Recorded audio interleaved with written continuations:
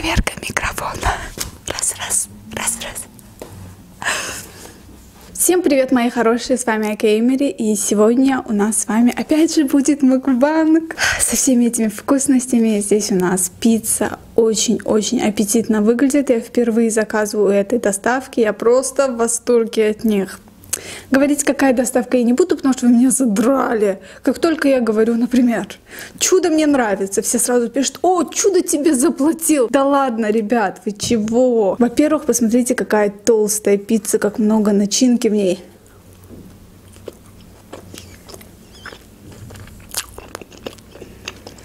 Как же это вкусно! Вчера я что-то приболела, у меня был грипп. Я такая испугалась, запаниковала. Думаю, все, коронавирус.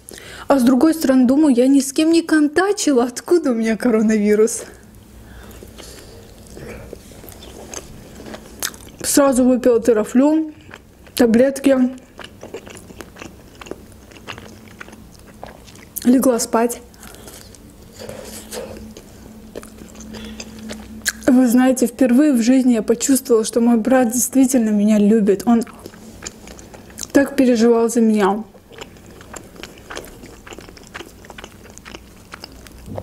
Он мне на днем сто раз звонил. Как ты себя чувствуешь? Как ты чувствуешь себя?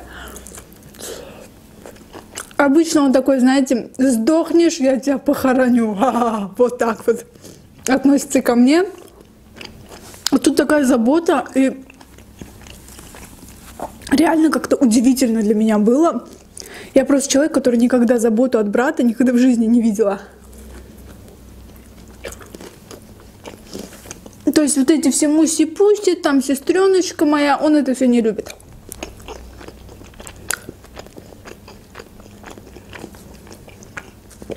Какая вкусная пицца, ребята.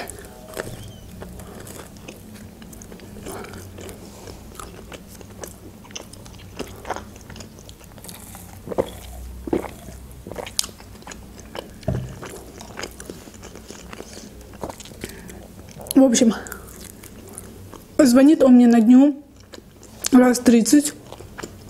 Ну, очень много раз звонит. Я говорю, я хочу заснуть. Я сейчас выпила терафлю и все такое. Хочу заснуть. Говорит, вот выпей это, то не снимай видео. Я говорю, как не снимать? Я говорю, я не могу не снимать, я просто... Я просто реально дышу этим. Вот многим кажется, что ни один блогер не снимает два видео в день. И это слишком, да? Но я реально дышу этим. Мне очень нравится то, чем я занимаюсь. Вот прямо вот так вот.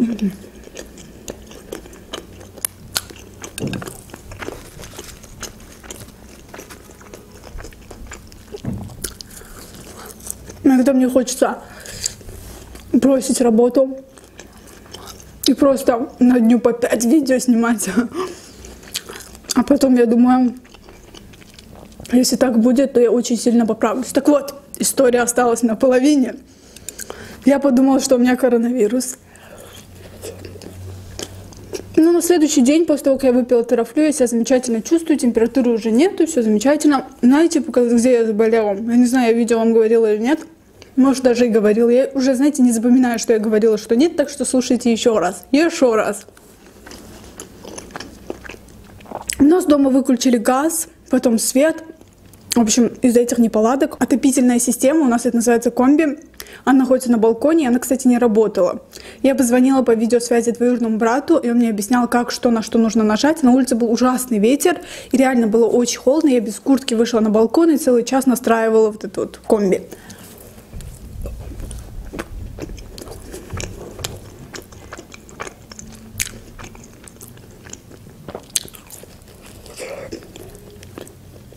Вот тогда я заболела. Ну, сейчас я себя замечательно чувствую.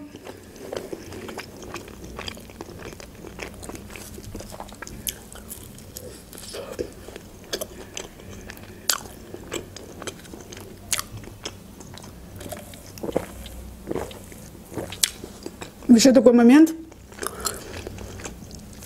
Все вот столько кипиша наводят, все такое, типа, так много людей умирает. Но по идее, смотрите, от гриппа умирает, я посмотрела статистику, 650 тысяч человек в год. Если сравнивать это же с коронавирусом, то коронавирус это фигня. Если честно, на меня тоже сначала прям, знаете, такая паника нашла. А потом как-то я так подумала,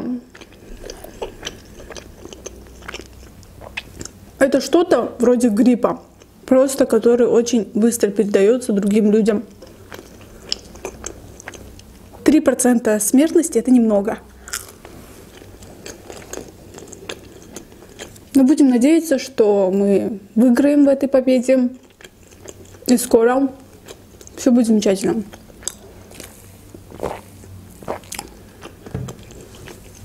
Просто в такие моменты, когда ты болеешь, там, не знаю, везде паника и все такое, ты понимаешь, насколько твои близкие тебя любят. Это реально очень приятно, потому что за всю жизнь, за все 23 года в первый раз я вижу, чтобы брат как-то волновался насчет меня.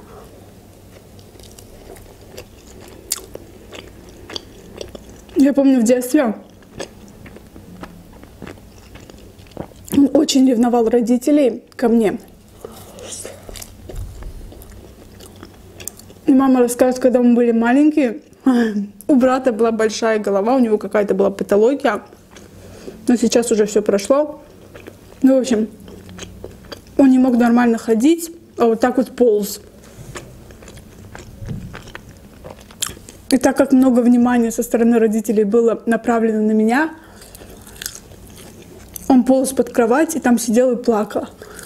И делал вот так.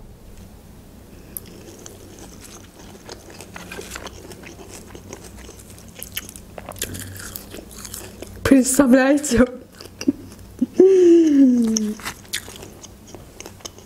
Я говорю, ах ты ревнивый засранец.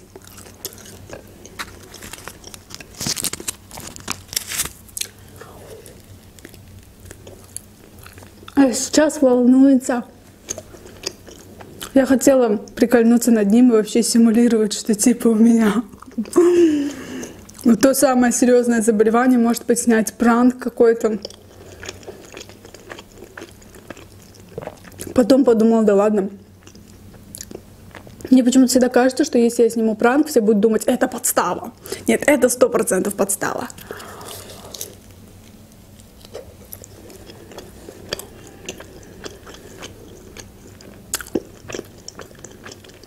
Как вкусно. Я забыла сказать. Как это вкусно. Хорошее настроение, не знаю почему. Кстати, завтра снимаю для вас влог, как мы идем покупать телефон. А какой, я вам не скажу.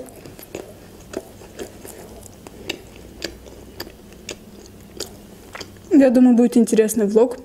Там как раз в магазине будем рассматривать телефоны. Получится интересный влог, я думаю. Вообще больше будет влогов, так как вам нравится. Все под прошлым влогом отметили, что у меня перхоть. Какие вы у меня внимательные, заботливые.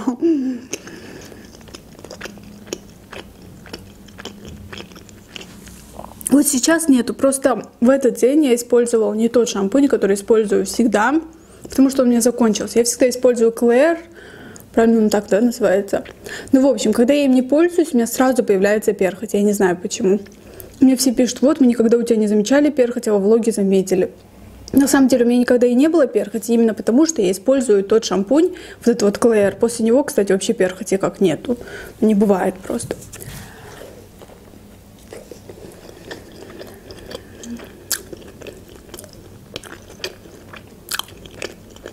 Обожаю пепперони.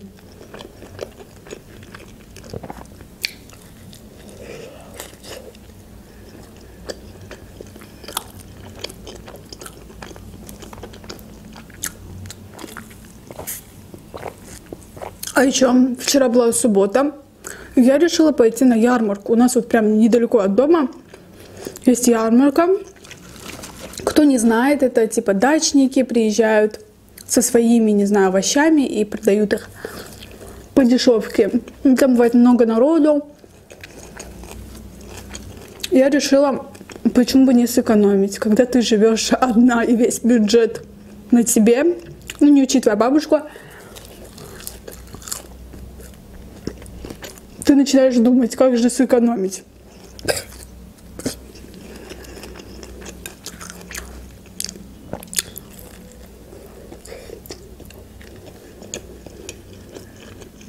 Купила там брокколи, овощи, фрукты. Я, знаете, такой человек, я ем один мандарин, вот реально. Я не наедаюсь. Я должна съесть минимум 5 мандаринов, 6, чтобы вот как-то почувствовать этот вкус. Это немножко странно. Хотя вы, наверное, знаете, да? Но когда я кушаю чуть-чуть, я совершенно не наедаюсь. Вот совершенно. Поэтому пошла на ярмарку и по дешевке все это купила. Я купила брокколи за один манат 50 копеек. Ну, это вообще смешная цена для брокколи. А огурцы как с помидорами подорожали. Я как бабка старая, да.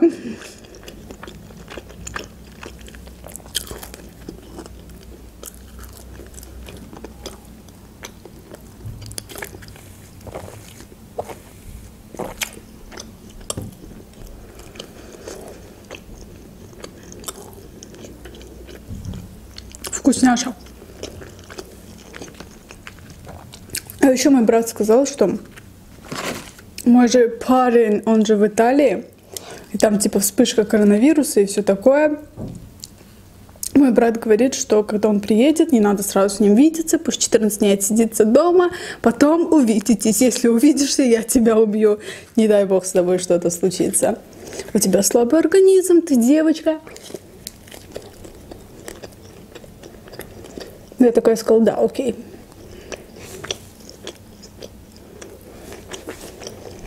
Ой, настроение хорошее.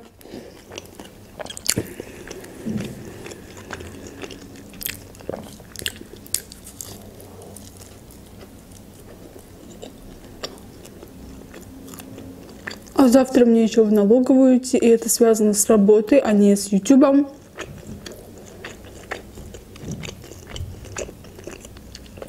По идее, эти вопросы можно решать онлайн, но что-то я там не разобралась. Вот я, в принципе, хочу снять весь свой день, потому что завтра у меня режим дня такой. Сначала я иду на работу, потом я иду в налоговую, решаю там все свои проблемы. Затем уже я иду в Burger Station, и мы с Улькер снимаем видео. После этого я возвращаюсь домой, переодеваюсь, иду к моей подруге Шейли на работу. Мы с ней вместе идем покупать телефон. И вот такой вот насыщенный, интересный, по идее, день. И мне кажется, налоговую тоже можно включить и поснимать там тоже. Просто я не уверена, что там можно снимать. И еще мой босс тоже немножко против того, чтобы во влогах светилась работа. Вы знаете, когда я начинаю что-то рассказывать, меня невозможно заткнуть, и иногда может быть такое, что, например, я скажу или покажу какие-то документы, которые не стоит светить в интернете. Поэтому мы договорились на том, что на работе я не снимаю никаких сториз, никаких видео. Вот. Вот реально, вот я когда, например, даже сижу, кушаю, с вами болтаю, я начинаю рассказывать какие-то истории. Может быть, какие-то, которые даже я не собиралась рассказывать, но не знаю.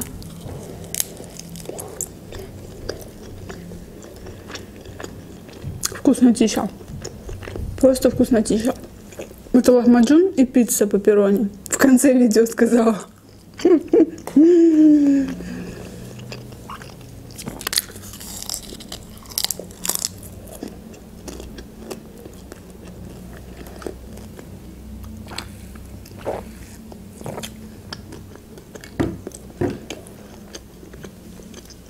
Поэтому я не знаю, что именно включить в свой влог.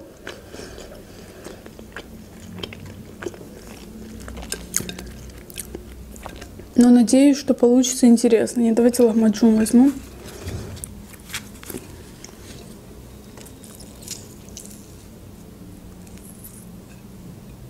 Вкуснотища. Здесь еще кусочки мяса, лук. Башпи вкусно.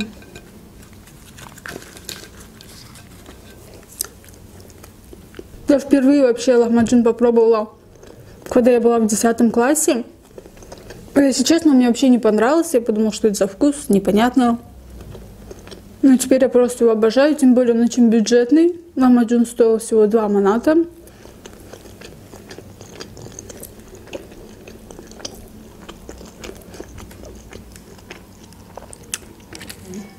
И давайте немножко поотвечаю на вопросы. Тут вопрос, обсуди, пожалуйста, тему краж. Я реально хотела вам рассказать историю одну, которая случилась с моим знакомым. Почему я это рассказываю, чтобы вы тоже не наступали на те же грабли. У нас, например, в Азербайджане айфоны, они очень дорогие. Дороже, чем, например, в Америке или в России. Не знаю, с чем это связано. Какая-то монополия и все такое. Вот. И мой один знакомый видел в Инстаграме страницу, который продавал айфоны, ну типа из Дубая, очень дешево. Но не подозрительно дешево. Например, официальная цена 700 долларов, он продает за 750. Но зато здесь в магазинах этот же телефон стоит 900 долларов. Например, так просто, чтобы вы сравнили. И он подумал, как классно. Договорился с этой инстаграм-страницей. И они сказали, что они работают со стопроцентной предоплатой. То есть ты переводишь деньги на их счет.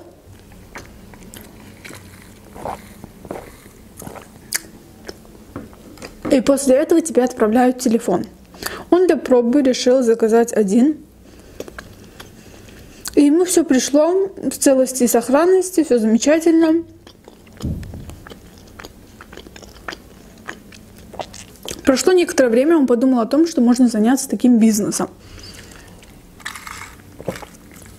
Но реально найти здесь клиентов на iPhone, взять у них предоплату, отдать эти деньги сразу этому человеку, он привезет тебе, не то что привезет, пришлет тебе эти айфоны. И он подумал, идеальная схема, можно не отрываясь от работы, заниматься этим тоже. Тем более человек уже проверенный, один раз отправил, круто, да, можем доверять. И как получилось? Оказывается, там мошенническая схема. Он берет, отправляет деньги на 5 уже айфонов – Причем берет эти деньги у своих знакомых, чтобы как бы перепродать им. И получается, что этот человек ему пишет, что вот посылка доедет до тебя вот такого-то числа, дает какой-то трек-код. Я тонкости там не очень хорошо знаю. Он ждет, проходит неделя, не приходит, начинает писать на WhatsApp этому человеку. И получается, что человек просто взял и заблокировал его. И тут он просто в шоке. 5 айфонов стоит недешево, так скажем. Причем, как, как всегда, все заказали последние айфоны. И он просто не может поверить тому, что его просто кинули. Ждет неделю, вторую. Начинает с разных профилей писать на инстаграм странице вот этих вот мошенников. У них, кстати, много было подписчиков, много лайков. Вот. Что это мошенники? Они берут и блокируют этот аккаунт. Он пишет с другого аккаунта, они блокируют и другой аккаунт. Он уже не знает, что делать, обращается в полицию. Как вы думаете, что сказала полиция?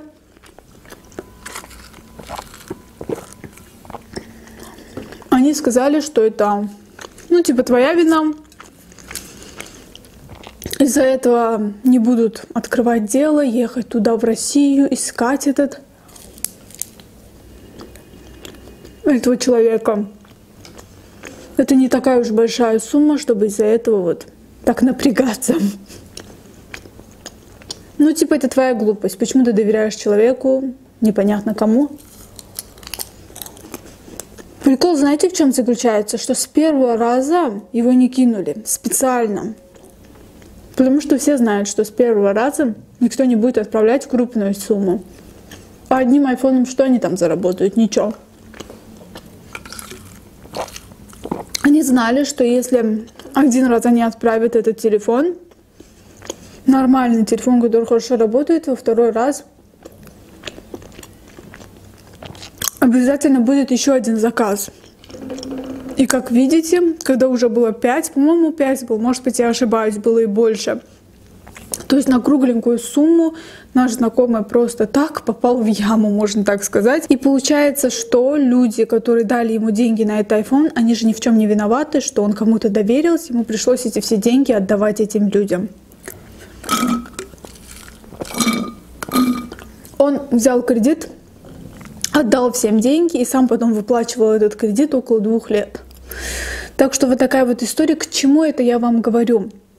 Я считаю, что такие истории нужно рассказывать, чтобы в дальнейшем, например, вы не наступали на те же грабли, которые наступил мой знакомый. Я, например, в таких вещах по возможности не рисковать. И вам, кстати, тоже не советую. Немножко пиццы осталось, но я, если честно, уже наелась, не хочется мне. Всем желаю удачного дня, приятного аппетита. В конце видео сказала Айка Эмили. Всем пока!